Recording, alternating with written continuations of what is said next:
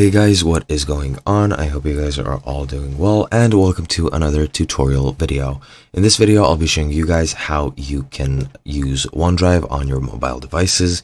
So let's get right into it. As you can see, I am currently logged into OneDrive on my mobile device.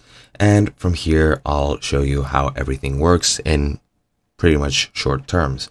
Uh, now, uh, OneDrive is a cloud storage service. It is Microsoft's proprietary storage uh, service, well, cloud service. Uh, it is pretty much the same thing as Google Drive is for Google, so you pretty much know what's going on. Uh, but yeah, what you can do here is you can go to Files. Uh, here you will file, find all your files that you have uploaded. Uh, you can click on the plus to add new ones, such as create folders, upload uh, anything you'd like, take photos, scans, create Word documents, PowerPoints, Excel spreadsheets, and so on and so forth.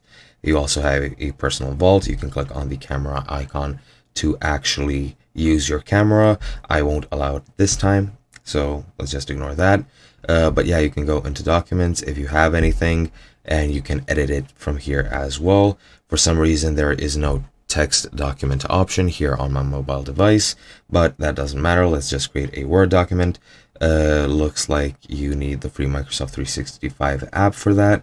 Uh, I won't be installing that or using that. However, you can edit them if you so like. Uh, you can access your photos as well.